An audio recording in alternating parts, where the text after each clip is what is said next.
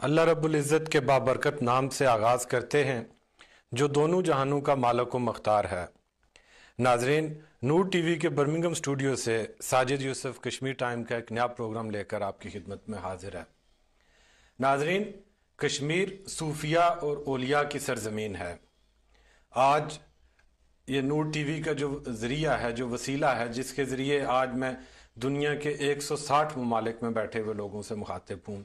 ये वसीला, ये ज़रिया भी सरजमीन कश्मीर के एक अजीम मर्द कलंदर हज़रत पीर अलाउद्दीन सदीकी साहब के सबब से हमको मैसर है।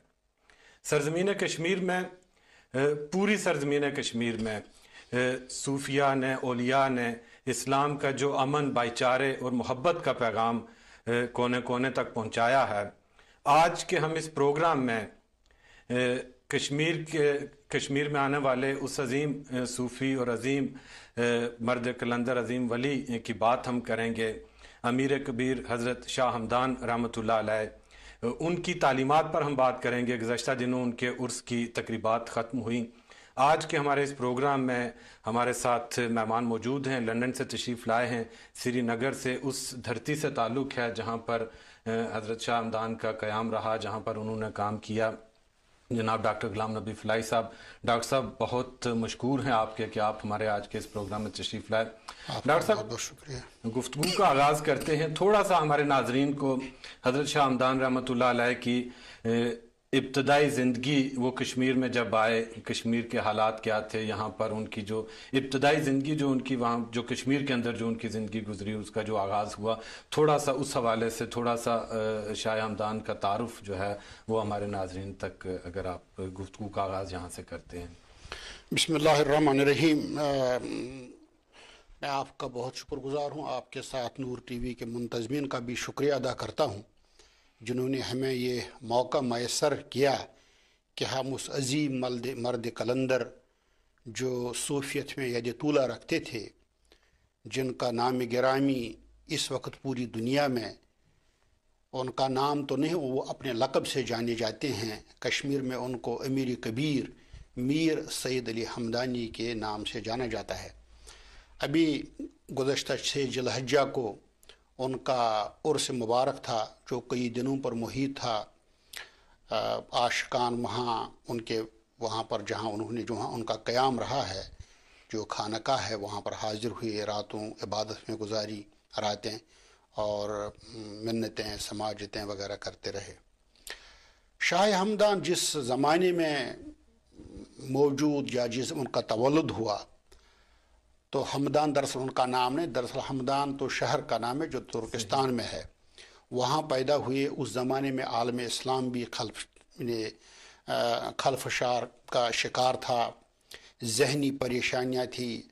सियासी तौर से खुलफा भी जो दस्त गरीबा थे और एक मौरख अल्लामा शबली मरहूम अपनी तारीख़ में लिखते हैं कि जब बगदाद का जवाल हुआ जवाल के बाद मिस्र में जो सल्तनत सल्तनत अब्बासिया थी, वो ख़त्म हो रही थी, ख़त्म हो, दम तोड़ चुकी थी और उस्मानिया सल्तनत की बुनियादें पड़ रही थी।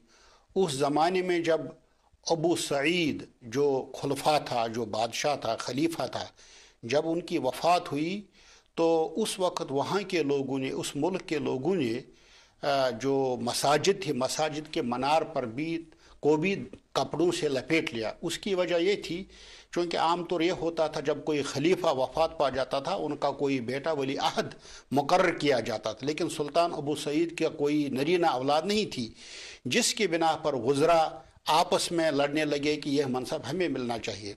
बाहर कैफ ये ज़माना था, इंतहाई परेशान कन और हमदान में भी इस्लामी खिलाफत थी। शाह हमदान के जो वालद मरहूम शहाबुद्दीन थे वो उस वक्त हमदान के गवर्नर थे। उनको ये मौका नहीं मिला कि अपने इस फ़र्ज़ अर्जमंद की तर, ज़्यादा तरबियत करते। उन्होंने उनको अपने मामू के सपुर्द किया जिनका नाम था अलाउद्दीन अद्दौला समनानी। वो उस वक्त सूफियत के बहुत बड़े आलिम थे ग्रेट स्कॉलर थे तरीक़त शरीयत और मारिफत में यदि तूला रखते थे। चूँकि उनकी तरबियत में शाह हमदान जो है उन तरबियत हासिल की और उन्हीं के बरकत से उस ज़माने में उन्होंने कम से कम दुनिया के कम से पचास ममालिक का सफ़र किया। कहा जाता है कि चौदह हज़ार उलमा से उनकी मुलाकातें हुई। होता यह था कि आमतौर दरसगाहों में मदारस में यह होता था जब आप पढ़ते थे तालीम हासिल करते थे फिर आपको सफ़र पर भेजा जाता था। जैसे बुखारा समरकंद इन जगहों पर ताकि वहाँ जो स्कॉलर्स हैं उलमा हैं उनके यहाँ बैठ कर भी आप कुछ इल्म हासिल करें। तो उन्होंने ये सफ़र शुरू किया। तो इस तरीके से आपकी चौदह हज़ार से आपकी मुलाकातें हुई हैं, आपने कई हज भी किए। लेकिन आपको चूँकि तैमूर तैमूर का ज़माना था, उनके जुल्म सितम का भी ज़माना था, बहरहाल हम उस तरफ़ नहीं जाना चाहते हैं उस तारीख़ में।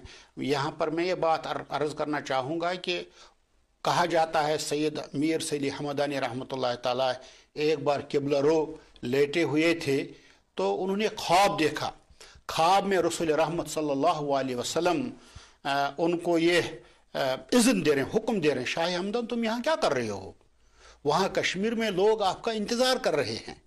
क्योंकि दरअसल बात यह थी कि कश्मीर अभी नया नया चूँकि हिंदू डोमिनेंस थी कश्मीर में हिंदुस्तान में उस वक्त तगल ख़ानदान की हुक्मरानी थी फेरोज़द्दीन तगलुक ये शरीर आरा था, बादशाह था, लेकिन वो बड़ा इंसान दोस्त भी था। कश्मीर में नई नई हुकूमत जो हिंदुओं से माने, यानी जंग में उनसे छीनी गई थी, शहाबुद्दीन उस वक्त वहाँ के हुक्मरान थे, लेकिन उन्होंने अपने बेटे कुतुबुद्दीन को हुक्मरान मुकर किया था। तो ये बड़ी सियासी परेशानियाँ थी और कश्मीर में एक बुज़ुर्ग दीन बुज़ुर्ग ने अवलियाई खुदा या बुजुर्गान दीन जिनको आप कहें, सैयद अब्दुलरहमान बुलबुल, इससे पहले वहाँ जिन्होंने इब्तदाई काम किया था, लोगों को इस्लाम की तरफ़ रागब किया था। इसलिए कहा जाता है कि ये जो शहाबुद्दीन था, ये पहले हिंदू था और सैयद अब्दुलरहमान बुलबुल की अजान सुनकर, आवाज़ सुनकर वो मुसलमान हुआ। पर क्या फिर दूसरी हिस्ट्री है तो ये ज़माना होता है, उनको गैब से इशारा मिलता है कि आप चले जाएँ कश्मीर को। और ये वो ज़माना था जबकि कोई सवारियाँ भी नहीं होती ऊँट ऊपर लोग सफ़र करते थे, घोड़ों पर सफ़र करते थे। तो उनके जो सादात थे, उनके मुरीद जो थे, उन्होंने उनको हुक्म दिया कि आप मेरे साथ चलें। लेकिन कश्मीर जाने से पहले उन्होंने अपने दो मुरीदों को कश्मीर भेजा जिनमें ताजदीन ता, ताजुद्दीन सिमनानी और हुसैन सिमनानी जो उनके उनका भाई भी था चचाजाद भाई था उनको कश्मीर भेजा। वो या कश्मीर जाने से पहले उन्होंने सफारती महाज पर काम किया और वहाँ की ज़मीन को देखा कि कैसी नरम है सख्त है अगर हम इसमें काश्त करेंगे इस्लाम की क्या वो कबूल करेगी कि नहीं करेगी? तो उन्होंने इन दो मुरीदों को वहाँ भेजा और चचाजाद भाई को उन्होंने जो रिपोर्ट दी, उन्होंने जो रिपोर्ट उनको पेश की, उसके बाद उन्हें रख के सफ़र बांधा।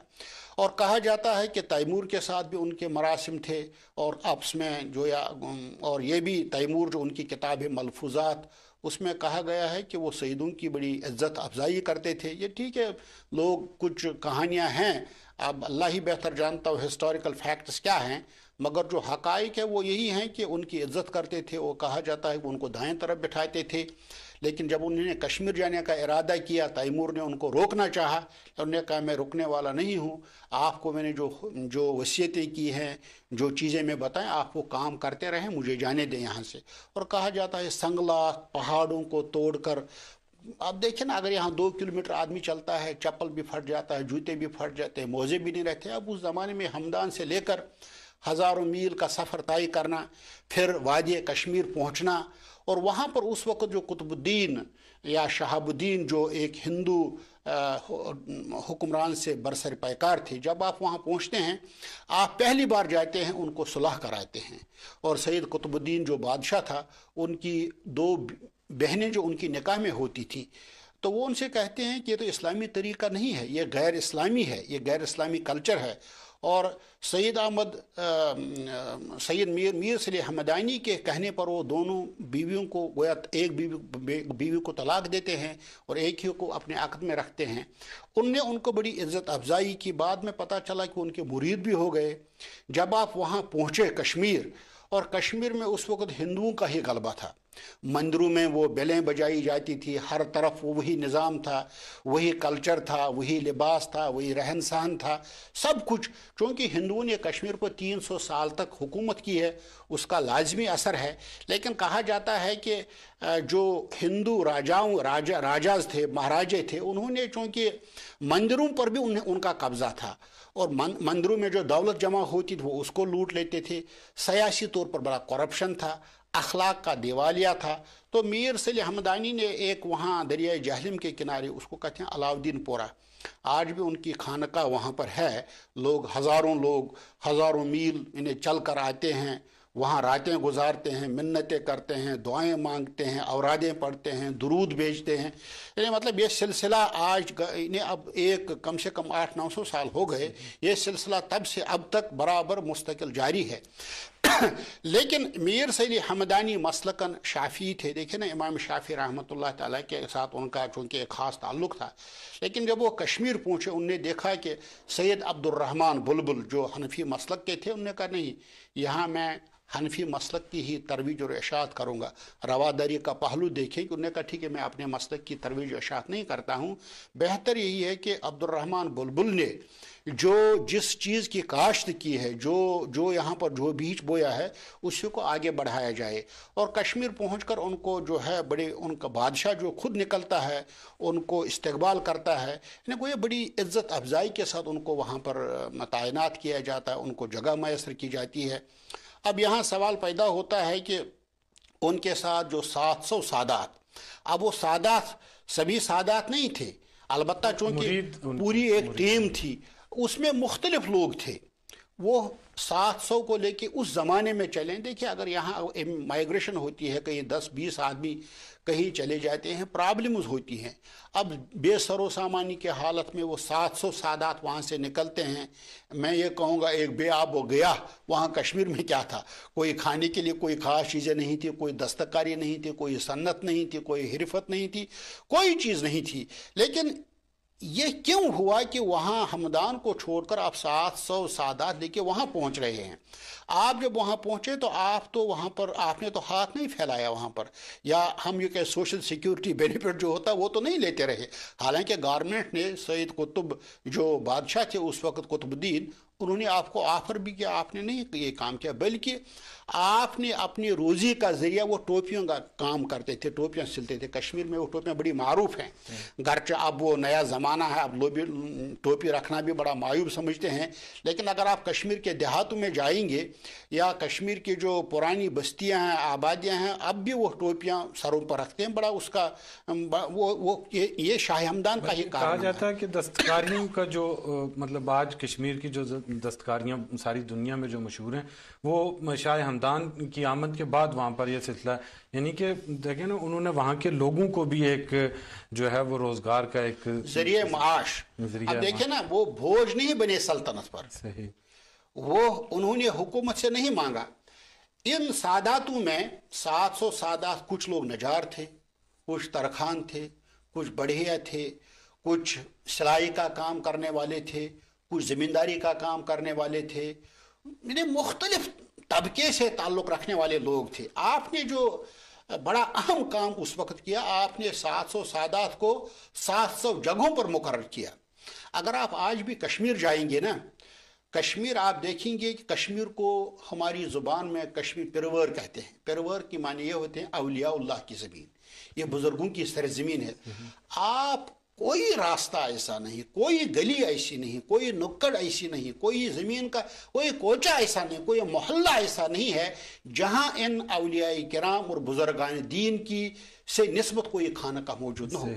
आप जहाँ जब आप सफ़र करिए ना कश्मीर जहाँ भी जाएँगे कहीं आपको ख्वाजा सैद अकमलद्दीन नज़र आएँगे कहीं सईद जलालुद्दीन बुखारी नज़र आएँगे कहीं सईद शहाबुद्दीन नज़र आएँगे कहीं सईद मखदूम रहमत ताला नज़र आएँगे कहीं बाबा शुक्रद्दीन वली नज़र आएँगे कहीं बाबा ऋषि नज़र आएँगे कहीं अलमदार ख़त कश्मीर शेख नूरुद्दीन नूरानी नज़र आएँगे कहीं सईद अब्दुलरहमान शाह बुलबुल यानी कोई चप्पा नहीं, कोई ज़मीन का टुकड़ा ऐसा नहीं जहाँ इन अलिया कराम का मज़ार नहीं है। इन्होंने अपनी अपनी जो अपना मस्कन जंगलात बनाए हैं मतलब ये बस्तियों से भी दूर उन्हें अपना अब्दी मस्कन बनाया। तो इनकी अब भी कश्मीर में इनकी छाप है, इसीलिए कश्मीर को पिरवर कहते हैं मतलब ये बुज़ुर्गों की ज़मीन है। डॉक्टर साहब, आज हमें ये जो जिस रवादारी और जिस मोहब्बत और भाईचारे का इन अल्लाह के प्यारों ने जो दर्स दिया, उसका कश्मीर की आम ज़िंदगी में भी तो उसका अक्स नज़र आता है। इन ओलिया की जो दरगाहें, उन पर हिंदू भी तो बहुत बड़ी तादाद में जाते हैं और जो मुख्तलिफ़ मज़ाहब के दरमियान जो भाईचारे की जो फ़ज़ा कश्मीर के अंदर है, शायद दुनिया में उसकी मिसाल कहीं और आपको नहीं मिलेगी जितना मजहबी रवादारी जो ग्राउंड पर जो वहाँ पर मौजूद है। और देखिए ना, आप तो रवादारी की बात कर रहे हैं। शाह हमदान की जो तालीमत है वो तो इब्तदा इंतहा रवादारी पर ही मबनी है। आप देखिए कश्मीर में एक सियासी उछल कूद गुजशत 1947 से चल रही है। लेकिन किसी कश्मीरी मुसलमान ने कभी किसी हिंदू को नुकसान नहीं पहुँचाया। आप क्या समझते हैं? ये किसकी तालीमत है? इन्हीं इन्हीं बुज़ुर्गों की तालीम मतलब आप मुझे और फिर आप देखें गुजशत 20 साल जो अस्करी महाज पर भी लोगों ने मतलब वहाँ जद्दोजहद शुरू की। कश्मीरी मुसलमान ने किसी हिंदू से तो नहीं छड़छी क्या कुछ उक्का दुक्का कहीं वाक़ हुआ हो।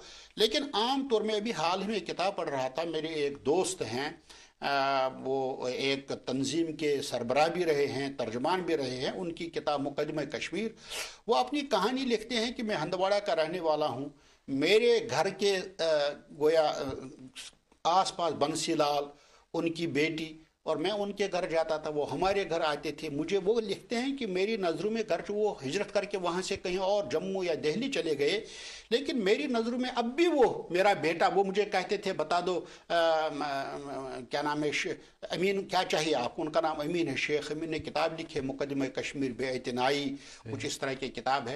यानी वो उसमें अब भी ये चीज़ें पाई जाती हैं। कश्मीर में अब भी उनकी आप देखें आज भी हिंदू वहाँ पर है किससे कोई छेड़ा छेड़ नहीं छेड़छाड़ नहीं होती है। ये दरअसल अलिया कराम की तालीमत का असर है। और इसमें शाही हमदान रहमा अकेले नहीं है शेख नूरदीन नूरानी जिन्होंने कश्मीरी ज़ुबान में कुरान पाक की तर्जमानी की है। और उस जमा गारों में रहते थे वो ज़माना बहरल वही था। कश्मीरी ज़ुबान में घर घर जाकर लोगों को इस रवादारी का पैगाम दिया। वो तो कहते हैं कुरान परान कोनो मोदुक कुरान परान दुद मंसूर। आप कुरान पढ़ते क्यों? आपकी वफात नहीं हुई। आप ये तमाम चीज़ों को छोड़ दें।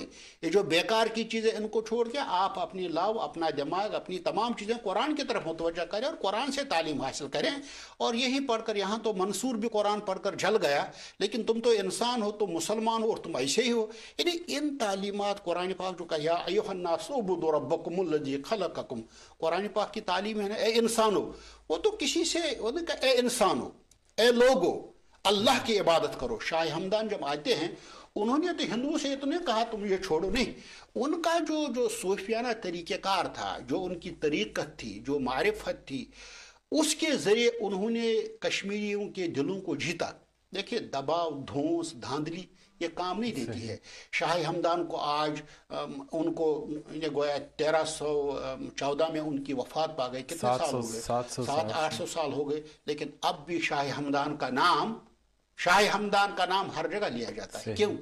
उनकी हुकूमत दिलों पर दिमागों पर जिसमानी को कोई जवाल नहीं है। जवाल नहीं है। अब 600 700 साल उनको हो गए वफात पाए हुए इस दुनिया से चले गए हैं।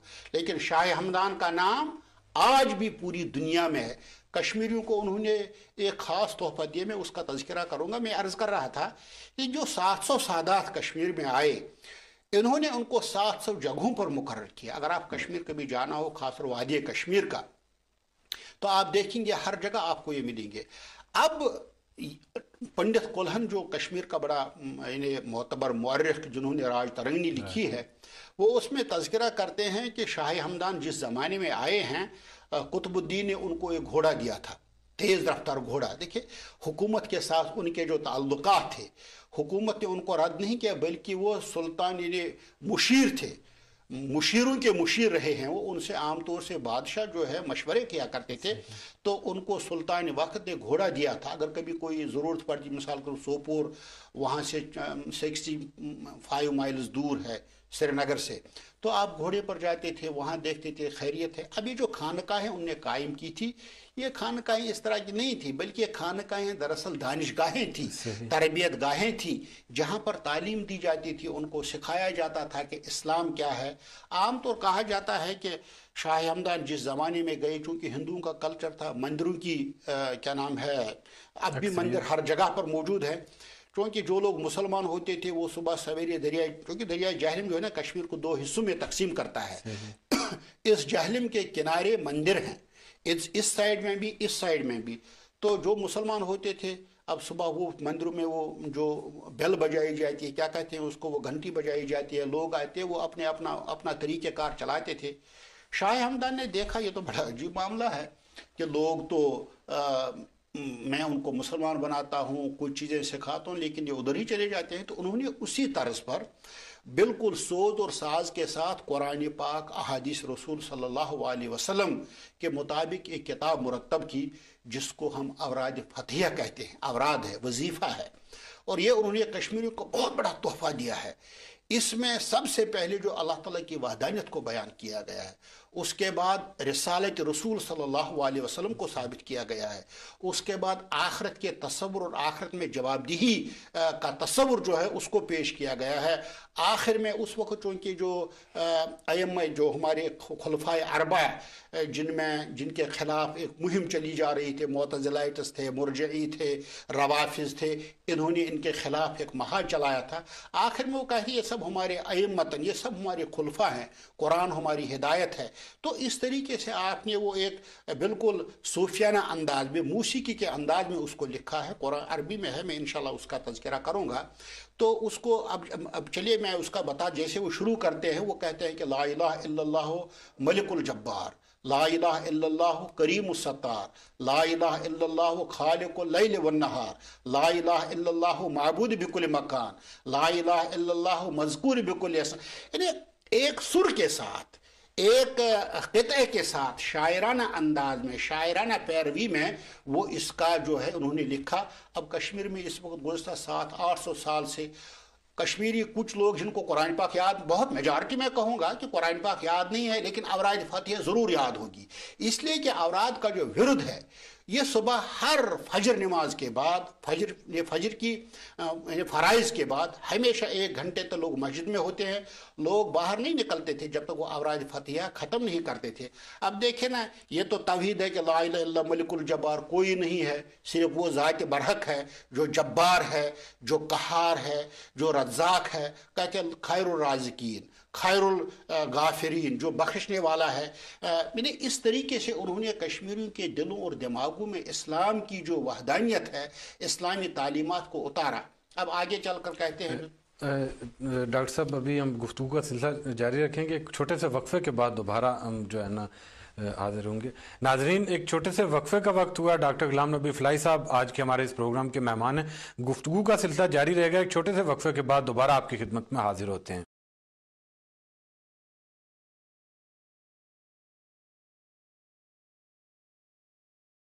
डॉक्टर गुलाम नबी फ़लाही साहब हमारे मेहमान हैं और हम बात कर रहे हैं हज़रत शाह हमदान की ज़िंदगी पर, उनकी तालीमत पर और कश्मीर के अंदर इस्लाम के फ़रोग के लिए उन्होंने जो काम किया उस पर। फ़लाई साहब हम बात कर रहे थे, आपने एक बात की कि दरिया जलम के किनारे पर बहुत ज़्यादा मंदिर थे, जिन पर जिन पे इबादत हुआ करती थी। तो उसी दरिया जलम के किनारे पर शाह हमदान मस्जिद भी है, एक बहुत बड़ी मस्जिद। तो क्या वो मस्जिद हज़रत शाह हमदान के दौर में तामीर हुई या बाद में उसकी? दरअसल शाह हमदान का वरूद जिस वक्त कश्मीर में हुआ, उन्होंने वो अलाउद्दीनपुरा एक जगह है, वहाँ उसको मंतखब किया।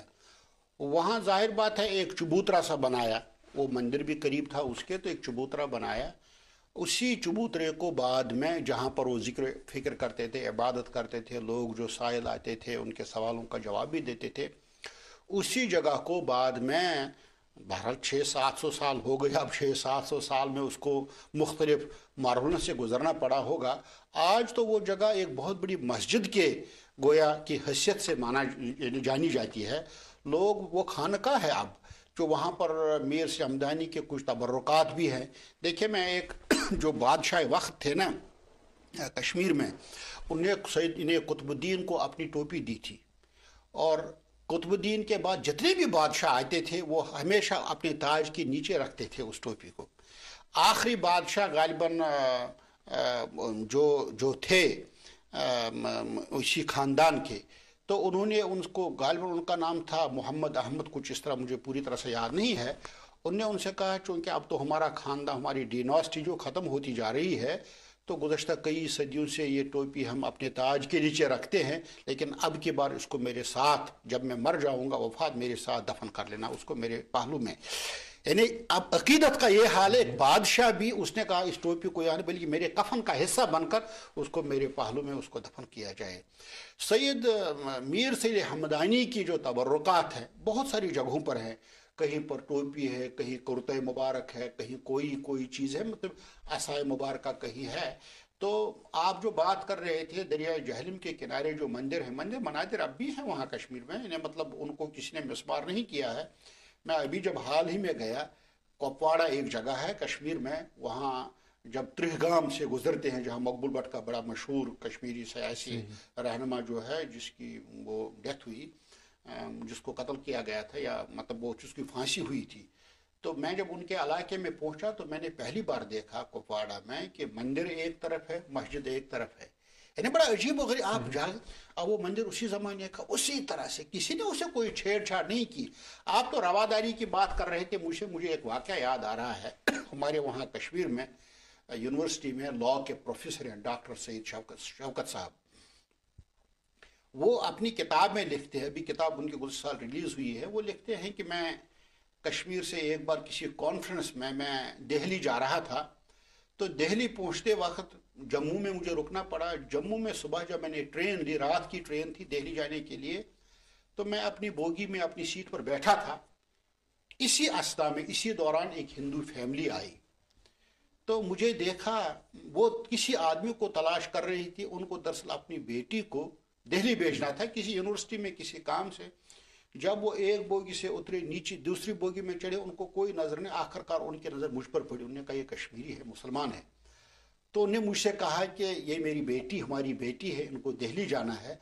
बराह करम, दिल्ली तक इनकी जरा नज़र रखें। अंदाज़ा करें ना अब भी मुसलमान और हिंदू में कोई नफरत नहीं कुछ पॉलिटिशियन हैं जो इसको जरा अपनी अपनी खिचड़ी पकाते रहते हैं अदरवाइज़ तो कश्मीर में ऐसी कोई बात नहीं है। अब जब आप दोनों तरफ़ से हवा देंगे तो फिर तो ज़ाहिर बात है दोनों तरफ़ से लोग तलवारें निकाल कर तो निकल ही जाएँगे मैदान में। बेसिकली ये जो अवलिया कराम की तालीमत थी इनका बहुत असर है। आप देखिए ना अब हिंदुस्तान की तरफ़ आइए या पाकिस्तान में जाइए जो बड़े बड़े मज़ार, दातागंज, बख्श रहमत फरीद, फरीदुद्दीन फरीदुद्दीन गंज, निज़ामुद्दीन अवलिया देखे, अजमेर शरीफ की दरगाह देखे, लोगों को और क्या मिलता है वहाँ पर? वो दरअसल इन जगहों पर जाकर अपनी बैटरी चार्ज करते हैं, रूहानी बैटरी को। ये तो इस दुनिया से चले गए हैं ना? इनका जो काम था वो तो कर चुके हैं। देखिए, मुझे फिर याद आ रहा है, कश्मीरी जो है, सुबह सवेरे अवराध पढ़ते हैं। अवराध का आखिरी हिस्सा है। हिस्सा है कि रजीना बिल्ला ताला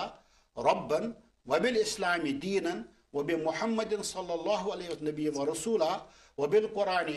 व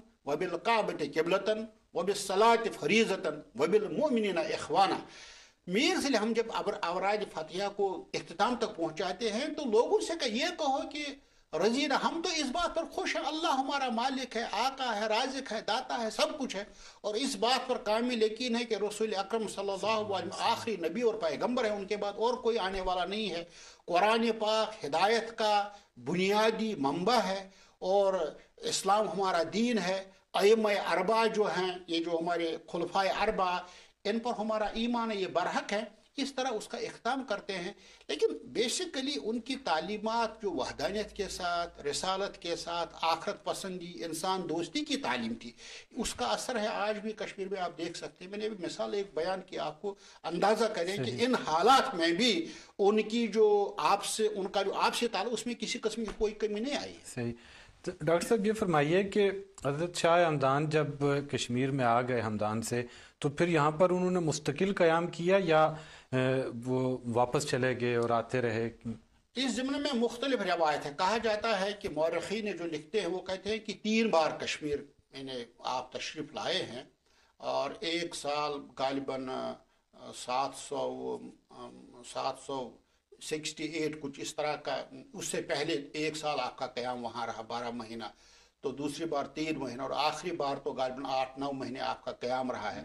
बाहर के लिए तारीख रवायतें हैं, लेकिन मोतबर रवायात यही है कि शाह हमदान एक ही बार कश्मीर गए, आपने वहाँ कई साल तक क्याम किया और फिर आप वापस जो है पखली पूरा जो हज़ारा डिवीज़न में आता है, वहाँ पहुँचे, वहाँ उस वक्त जो बादशाह थे खजर काखी उन्होंने आपको रोका कि आप तशरीफ़ न, उनकी तबीयत ख़राब हो गई थी तो फिर आपकी वफात वहीं हुई और आपका मकबरा जो जो आपकी नाश मुबारक उसको फिर खतलान पहुँचाया गया। भले तारीख थी इन पर मजीद रिसर्च करने की ज़रूरत है। लेकिन आपने जो इल्मी सरमाया छोड़ा है आपका जो इल्मी सरमाया बहुत ही वसी है। डॉक्टर साहब ये फरमाइए कि कश्मीर में शाह हमदान ने कोई इदारा कायम किया जब वो वहाँ पर थे? क्या वो इदारा आज भी वहाँ पर मौजूद है? हाँ, मैं ये अर्ज़ कर रहा था दरअसल वो चबूतरा जो था वहाँ ही आपने एक छोटी सा, छोटा सा इदारा जहाँ आप अपने, मैं तो एक मुरीदों की तरबियत किया करते थे, वो इदारा आज भी बहुत बड़ी यूनिवर्सिटी बना हुआ है। अब चूँकि उस वक्त, उसमें नाम तो चेंज तब्दील वो इदारा, उसको तो फिर गवर्नमेंट ने भी, वहाँ एक बड़ा लंगर गोया गवर्नमेंट ने, जब लोगों ने देख गवर्नमेंट ने देखा ना तो अब तो लोग इनकी तरफ़ जोक दर जोक आते हैं, हज़ारों तरह लोग यहाँ आते हैं, हज़ारों के तादाद में तो गवर्नमेंट ने एक लंगर खाना वहाँ तामीर करा है जिस तरह आज भी अगर देखेंगे ना आप किसी बड़े निज़ाम जिन अवलिया जब जाएँगे वहाँ पर लंगर चलता है। इस तरह से उस ज़माने में भी कुतुबुद्दीन के ज़माने में शहाबुद्दीन जिसको अल्लाह इकबाल ने भी खराज अकीदत पेश किया है कि वो तो अपने वक्त का गुलिसर सब था उनने एक लंगर वहाँ कायम किया। हज़ारों लोग आते थे उनको फ्री खाना मिलता था लोग जो दीनी तमन्नाएँ लेकर आते थे, मुरादे लेकर, उनकी हाजतें पूरी होती थी। मतलब हाजतें उनके सवाल जवाब रूहानी तस्कीन। देखिए, रूहानी इस सूफिया का अगर आप देखिए ये ये इसमें रूह को तस्कीन मिलती है। इसमें आप आजकल देखिए ना हमारे पीर अलाउद्दीन साहब सिद्दीकी अल्लाह ताला उनकी उम्र दराज करे। ये भी उसी तरीके उसी सिलसिले के उस राह पर चल रहे हैं। अब इनका तरीक़ेकार लोग क्यों इधर आते हैं? लोग उधर क्यों नहीं जाते? दरअसल इनको एक सुकून मिलता है। इंसान को कोई चीज़ चाहे ना फ़िज़िकल सूरत में। अब देखिए लोग फ़लस्तीन क्यों जाते हैं? फ़लस्तीन मैं अर्ज़ करूँगा बैतुल मकदस बैतुल मकदस में तो हम क्लेम करते हैं कि वो हमारी है, यहाँ से रसूल पाक सल्लल्लाहु अलैहि वसल्लम ने आप महराज को चले गए। अल्लाह के रसूल ने फरमाया तशुद्दुर्रहाला सलासत मसाजिदा। कि अगर आपको ज़ियारत करनी हो, सफ़र करने का इरादा करना हो तो तीन तीन ज़ियारतों का सफ़र करें आप। एक तो मस्जिद मकतुलमकरमा खान काबा, दूसरे मस्जिद नबी अलैहिस्सलात वसलाम और तीसरा है बैतुल मकदस। ये तीनों जगह बड़ी, ये फ़िज़िकल अपेरेंस है। आदमी जो है जो परेशान होता है, बीमार होता है, वो किसको पुकारता है? उस वक्त किसी डॉक्टर तो नहीं बुलाता, वो कहता अल्लाह अल्लाह अल्लाह ही करता है। तो इंसान को ये ये चीज़ जो ये इंसान के जहन में इब्तदा से ही है। ये चीज़ें जो हैं इस दुनिया का जोग्राफियाई नक्शा क्या हो कुछ हो लेकिन इंसान हमेशा इन जगहों की तलाश में रहा है। आज भी अगर लोग जाते हैं खानकाहों पर वो दरअसल अपनी बैटरी को चार्ज करने जाते। हैं ठीक है वहाँ पर कुछ मुख्तलिफ़ किस्म के खुराफात हैं बेदात है। दरअसल ये उन तालीमत से दूरी का नतीजा है। अगर आज भी कश्मीरी या पूरी दुनिया सिर्फ़ मीर से हमदानी की अवराज फतिहा पर अमल करेंगे, मैं तो समझ दंगा फसाद कब का ख़त्म हो जाएगा। अब अंदाज़ा करें ना, वो सात सौ सादात लेके आते हैं हमदान से कश्मीर, और कश्मीरी बादशाह और कश्मीरी आवाम उनको दिल की गहराइयों से कबूल करते हैं। और इतना ही नहीं बल्कि थर्टी सेवन थाउज़ेंड हिंदू उनके हाथ पर मुसलमान हो जाते हैं। और आज 800 साल गुजरने के बाद उनकी छाप उनकी तालीमत कश्मीर में ज़िंदा है। अंदाज़ा करें नहीं क्या है? अल्लाह ताला ने जो इसमें एक अट्रैक्शन रखी है जो जाजबियत है जो कशिश है वो किसी और चीज़ में नहीं है। सही। यानी आप हुकूमत के ज़रिए से डंडों के बल पर कुछ कर सकते हैं लेकिन दिलों पर हुक्मरानी नहीं कर सकते। हैं दिलों की हुक्मरानी के लिए बहुत ही ज़रूरी है। मैंने अर्ज़ किया ना कि एक वाक्य है सिर्फ़ ये अब हिंदू भी उनके पास आते थे दूसरे लोग भी आते थे। बुद्ध मत उस वक्त बहरहाल मुझे याद नहीं लद्दाख वगैरह की तरफ़ आप चले गए वहाँ भी आपने तालीमत को आम किया इस्लामी तालीमत को। ये एक सिलसिला था। अब सूफियाना तरीक़त का ये सिलसिला ताबत जारी रहेगा। डॉक्टर साहब अलामा इकबाल ने हज़रत शाह हमदान के हवाले से भी कुछ लिखा। अल्लामा इकबाल मरहूम ने जब ज़खीरतुलमलूक उनकी एक अहम किताब है उसको उन्होंने मुंशी मोहम्मद बिन फाउक लिखते हैं कि उसको देखने का उन्होंने इरादा ज़ाहिर किया। और वो फारसी में है आज भी यहाँ ब्रिटिश म्यूज़ियम में उसी शेप में वहाँ पर 170 जो किताबें हैं इमाम सॉरी इनकी जो मीर से हमदानी की 170 किताबें। 170 किताबें। 200 के करीब हैं लेकिन 170 के जो मुख्तलिफ़ जो उन्होंने लिखे हैं रसायल उनको ब्रिटिश म्यूज़ियम में आज भी देखा जा सकता है। अब मुझे नंबर याद नहीं लेकिन मैंने खुद आँखों से देखा है कि बड़ा प्रिजर्व कर रखा ये बड़ी बात है। सैयद ने अल्लामा इकबाल मरहूम ने उनको खराज अकीदत पेश किया है। कहा है सैद सादात सालार अजम दस्त व मीमार तकदीर उमम दागजाली दरस अल्लाह गिरफ्त। फिर ज़िक्र फिक्रो इज्द मानो ओ गिरफ्त। मुर्शद आ किश्वर मीनो नज़ीर। मीरो दरवेश सुल्तान रा मुशीर। खत रा आ शाह दरियाए आसती। दाद इल्म सन्नत तहजीब दी। आफरीद आ मर्द ईरान सगीर। बाहुनर हाय गरीब दिल पजीर। यानी अल्लाह इकबाल ने जो कसीदा उनकी उनकी शान में कहा है कि आप सादातों के सैयद हैं। एक तो सादात है ना उनके भी आप सरदार हैं और सालार अजम हैं। अजम के आप सालार हैं। गोया पूरा अजम आप उसके कमांडर इन चीफ हैं। और आपने तो उम्मतों की तकदीर साजी की। अब नहीं है कश्मीर में जाकर आपने तो पूरी बस्तियों की बस्तियों की काया पलट दी। काया पलट दी। और फिर ये है कि गजाली से लेके आज तक इमाम राज़ी हो इमाम गजाली हो, इन्होंने जो दर्स दिया, आप उसी दर्स को आगे बढ़ाते चले गए। और फिर ये है कि अल्लाह की ज़िक्र फ़िक्र में लोगों को मगन रखा आपने, और उनके दिलों पर आपने कमंदे डालकर उनको, उनके शिकंज में आपने कस लिया और अब तो इन्हें नामुमकिन है कि वो चीज़ें उनसे छूट जाएँ। और फिर यह है कि कश्मीर जाकर आप तो सुल्तानों के मुशीर रहे तैमूर भी आपसे मशवरा माँगता था जो इतना बड़ा जालिम व जाबिर है और सुल्तान कुतुबुद्दीन भी आपसे मशवरा माँगता है और शहाबुद्दीन वो भी आपका मुशी आपका गोया मुरीद बना हुआ है आपसे मशवरे माँगता इसीलिए आप, आप देखिए ना इतना ही नहीं फिर अल्लाह इकबाल कहते हैं कि आपने तो कश्मीर को ईरान सगीर बनाया। गोया ईरान में उस वक्त जो सन्नत थी जो हरफत थी आप देखिए कश्मीर जो पेपर माशी है कश्मीर में जो पेपर माशी है पूरी दुनिया में मशहूर थी। अब पता नहीं ये सूरज हाल बहरहाल दिगरगू है। तो ये मीर सिंह हमदानी का कारनामा है आपके सादाफ का कारनामा। और ये जो कारपेट बने जाते हैं कश्मीर में बड़े मशहूर है। और ईरान से खाना जो हमारे यहाँ खास है गोश्ताबा। और ये कहा जाता है अब अल्लाह पे तो मुझे तो उस पर कोई तहकीक नहीं है कहा जाता है ये ईरानी दरअसल ईरान का तर्ज तो आम है गोया खाने का जो जो जो मुख्तलिफ़ डिशेज हैं ये मीर से हमदानी का ही कारनामा है। और आपने कश्मीरियों को खाना ही नहीं बल्कि हुनर दिया। सही। हुनर दिया सात सौ सादा जहाँ जहाँ गए वो मोहताज नहीं रहे। और लोगों में एक गलत फहमी है जिसको मैं दूर करूँगा। करना चाहूँगा आपके तवसत से नूर तवसत नूर टीवी के तवसत से वो ये है हम अपनी जगह ये समझते हैं शायद ये लोग बड़े भिखारी कस्म के रहे होंगे ऐसी कोई बात नहीं ये वक्त के मुसलह थे अजीम ग्रेट रिफॉर्मर यानी एक एक सेंट जो बड़ा बड़े कस्म के सूफी थे तरीक़त के मैं यदि तूला रखते थे और इसीलिए अगर स्कॉलर न होते तो 170 किताबें कहाँ लिखते आप? आपकी जो किताब जखीरतुलमलूक है अगर आप उसको पढ़ेंगे ना आज के उलमा उससे बेनियाज नहीं हो सकते हैं। उस किताब में आपने जो हुक्मरान उसका नाम है जखीरतुल मुलूक। जखीरा के माने आते हैं खजाना या जिसको आप ट्रेजर कहते हैं ट्रेजरी कहें। तो ये खजाना जो है मुलूक मुलूक जो है आ, ये बात ये जो कहते हैं ना बादशाह को बादशाह को अरबी में मलिक कहा जाता है। तो उसका जमा जो है मुलूक है। बादशाहों के लिए ख़जाना है। आपने उस किताब में मुख्तलिफ़ अफवाह बांधे हैं।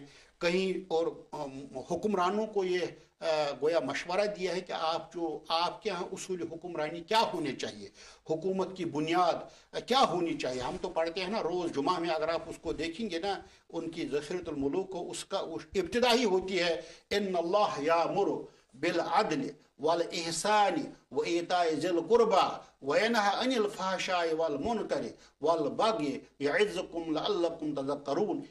ये हर जुमा में इमाम साहब खुतबे में पढ़ता है वो कहते हैं कि अल्लाह ताला ने इन्नल्लाह अदल का हुक्म दिया है अदल करें आवाम के साथ। जब आप आवाम के इसको जुल्म और जबर में जकड़ेंगे तो वो आपकी आवाम नहीं है, उनके साथ एहसान का बर्ताव करें और उनके साथ खैर खाही से पेश आए, ये उनकी तालीमत थी। और फिर ये कहा है कि कुल्ल कुमराइन व कुल्ल कुम मसूल अन रैयत ही वो तो हुक्मरानों को कहते हैं कि तुम तमाम लोग जो हो, अल्लाह के यहाँ जवाबदेह हो। कुल तुम लोग तुम ये जो आवाम है ये तुम्हारी रैयत है तुम बादशाह हो तुम्हें अल्लाह में इस बारे में पूछेगा।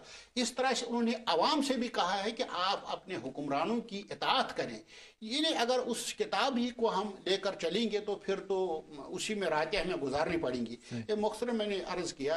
डॉक्टर साहब चूँकि हमारा प्रोग्राम का वक्त भी बातें मतलब इतनी थी और चूँकि इतने बड़े बुज़ुर्ग की हम बात कर रहे हैं तो वक्त गुजरने का एहसास ही नहीं हुआ, लेकिन चूँकि अब प्रोग्राम खात्मे की तरफ़ जा रहा है, मैं आखिर में ये चाहूँगा कि आज के मौजूदा हालात में, जहाँ पर सारी दुनिया में हम सिर्फ़ कश्मीर की बात नहीं करते, सारी दुनिया में नफ़रतें जो हैं वो परवान चढ़ रही हैं गलत फहमियाँ जो हैं वो बहुत तो इन सारे हालात वाक़ात को देखते हुए जो सूफिया और ओलिया के जो पैगाम था उनकी रोशनी में क्या पैगाम आप लोगों को देना चाहेंगे नूर टीवी नूर टीवी के तवसत से? इस वक्त 160 ममालिक में हमारी आवाज़ पहुँच रही है। तो क्या आप मैसेज देना चाहते हैं कि वो कौन सा इन ओलिया की, इन सूफिया की छोड़ी हुई तालीमत पर अमल करके हम इस, जो आज, जो दुनिया में इंसानों को जो मसाइल दरपेश हैं, उनसे हम छुटकारा पा सकते हैं? आखिरी दो मिनट हैं आप। एक बात मैं अर्ज़ करूँगा, चूँकि मीर अमीर कबीर, मीर समदानी का लकब है अमीर कहते हैं जो बड़ा हो, कबीर के माने भी वही आते हैं। तो उन्हीं के अल्फाज में, उन्हीं की बातों में मैं ये पैगाम क्या बहरहाल अगर मैं मुख्तर अर्ज़ करूँगा तो डॉक्टर अल्लामा इकबाल ने क्या खूब कहा है वो ज़माने में वो ज़माने में मुआज़ थे मुसलमान होकर और हम खार हैं तारीख कुरान होकर। और दूसरी जगह उन्होंने वो एक आपको भी याद होगा कि वो वो तू गुफ्तार वो किरदार तू साबित वो सैारा तो बेसिकली उनका जहद उनका तकवा वो लालच के बगैर थी। जब मीर सिली हमदानी उन्हें कोई लालच नहीं थी कि अब सुल्तान शहाबुद्दीन मुझे कोई नवाजेंगे। बेसिकली वो तो इकतदार छोड़कर वालद गवर्नर हैं और सारी आसाइशें छोड़कर बात यही कश्मीर का सफ़र। एक तो ये है कि लालच नफस खुशी ये बहुत बड़ी चीज़ है। अगर हम नफस को मारेंगे ना आज हम क्यों सरफटोल कर रहे हैं? लालचे हैं। तो मसला कश्मीर कब का हल हो गया होता? सिर्फ़ लालच है। लोगों में आपस में रसकशियाँ हैं। मफा पर्सनल मफादात हैं, वरना कत्ल आम हो रहा अगर आज भी कश्मीर के दोनों तरफ़ के लोग इस बात का तहिया करेंगे कि हम शाह आमदान की सिर्फ़ औराद फतिया को अपना, अपनाएँगे, मेरे ख्याल में तमाम मसाइल का हल होगा। देखिए, मैंने उनका एक आखिरी वो रुबाया नुकता पढ़ा, वो कहते हैं कि रजीना बिल्ला रबन वबिल इस्लामी दीन वबी महमद सल्लल्लाहु रसूला वबिल कुरान इमाम वबिल काबत किबलतन वबिल सलात फरीजतन वबिल मुमिनीन इखवाना वबी जन्नूरैन वबिल फारूक वबिल मुर्तज़ा अमत रिजवान अजमैन यानी यही पैगाम है हम इस बात पर जम जाएँ ये कहें कि अल्लाह हमारा खालिक है मालिक है आका है और रसुल पाक हमारे रहनमा है लीडर हैं मुरबी हैं सब कुछ हैं और उसके साथ साथ कुरान पाक के साथ दिल लगाएँ और लालच नफस कुशी लालच को ख़त्म कर दे नफस को मारें। अगर इस राह में मुजाहदा करना पड़े तो मेरे ख्याल में मसाइल का हल यही है। लेकिन अगर हम अपने नफ्स को नहीं मारते हैं फिर तो खून खराबा होता ही रहेगा। लेकिन बेसिकली जो हमें करने का काम वो ये है कि हज़रत मीर सिल अहमदानी की तालीमत को अजहर नव उजागर करने की ज़रूरत हम कोसों दूर है उससे। हम उन तालीमत से कोसों दूर हैं। वो कहते हैं कि सुबहान कमा अबदना का हक का इबादत अल्लाह तू तो मुनज़ा और पाक है। मैं तेरी इबादत उस तरह नहीं कर सका, जिस तरह करने का हक था। सुबह सुबहान कमा अरफ ना का हक का मारिफत का ओ अल्लाह, मैं तो तुझे उस तरह से नहीं पहचान सका, जिस तरह मुझे तुझे पहचानने का हक है। सुबहान माँ इस तरह से गोया कि जकरना का हक का ज़िक्र का, मैं तुझे उस तरह याद नहीं कर सका, जिस तरह तुझे याद करने का हक है। अल्लाह ताला को पहचानने के लिए रसुल पाक को पहचानने के लिए मेरे ख्याल में उनकी तालीमत सबसे अहम और वक्त की ज़रूरत है। ज़रूरत इस बात की है कि हम उसको अपनाएँ उस पर अमल करें। डॉक्टर साहब बहुत शुक्रिया आप तशरीफ़ लाए हमारे इस प्रोग्राम में। आपने आपका बहुत बहुत शुक्रिया। आपने मौका फराहम किया। नाजरीन प्रोग्राम का वक्त ख़त्म हुआ चाहता है। सिर्फ़ एक छोटी सी बात जाते जाते कह दूँ। जिस तरह डॉक्टर गुलाम नबी फलाई साहब ने फरमाया कि इन ओलिया इकराम की सूफिया की जो तालीमत हैं, आज हमारे जितने मसाइल हैं, आज हम जिन मुश्किल का शिकार हैं, उनको हम इसी तरह दूर कर सकते हैं कि हम इन ओलिया और सूफिया की तालीमत को अपना लें। उन्होंने किसी जगह भी नफ़रत की बात नहीं की, किसी जगह भी जंग व जदल की बात नहीं की, उन्होंने सिर्फ़ और सिर्फ़ अमन की बात की, सलामती की बात की, भाईचारे की बात की, और आज उन्हीं सूफिया और ओलिया के पैगाम को लेकर नूर टीवी सारी दुनिया में जो इस्लाम का मोहब्बत और भाईचारे का पैगाम है, उसको फैला रहा है। कश्मीर टाइम के आज के इस प्रोग्राम में इजाज़त दीजिए। अगले हफ़्ते इन नए प्रोग्राम और नए मेहमान के साथ दोबारा आपकी खिदमत में हाजिर हूँ खुदा हाफिज़।